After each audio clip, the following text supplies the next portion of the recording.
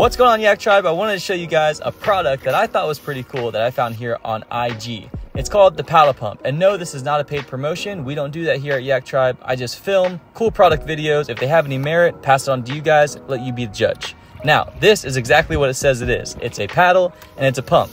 It's a paddle pump.